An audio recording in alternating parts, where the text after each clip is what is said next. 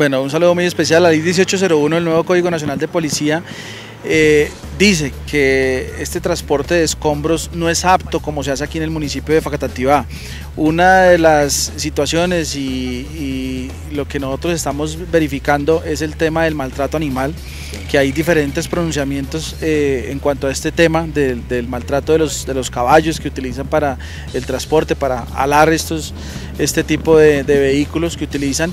y estamos haciendo los comparendos, estamos haciendo los comparendos en cuanto a estas personas que infringen o que transportan materiales de esta manera inadecuada aquí en el municipio. Precisamente la comunidad y pues el gremio de las personas que utilizan estos vehículos eh, pues están protestando en estos momentos porque ellos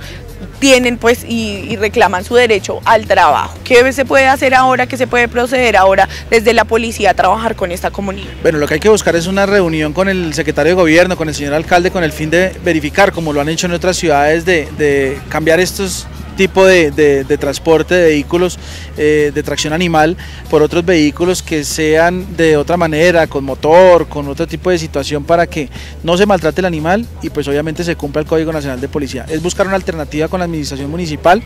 eh, reunir a estas personas, obviamente pues nosotros entendemos el tema del, derecho al trabajo y que la gente tiene que... Eh, subsistir y mantener a, sus familias, pero pues no debemos nosotros maltratar a los animales y debemos buscar esa otra alternativa para poder eh, seguir trabajando y, no infringir la, el Código Nacional de Policía. Bueno, Mayor, me gustaría que le diera un mensaje a toda la ciudadanía y pues al aspecto y al eh, espacio afectado eh, con este tema. Bueno, no, el, eh, toca es inmediatamente ya pues, sentarnos con la administración municipal, buscar una salida a esta situación que se está presentando en el municipio, porque obviamente nosotros nos toca aplicar los comparendos eh, en concordancia con el nuevo Código Nacional de Policía, pero sí buscar esta salida con, el alcalde, con el secretario de gobierno, como dije anteriormente, para evitar que se siga presentando esa situación, porque nosotros vamos a seguir aplicando los comparendos, porque es mucha gente la que nos llama, mucha comunidad la que nos llama diariamente a decir que pues el tema del maltrato animal y que no es la forma de transportar los escombros. Obviamente la ley indica que toca hacerlo de otra manera, en vehículos eh, que están establecidos y adecuados para esto, y no estos animalitos que sufren día a día con el transporte de estos escombros.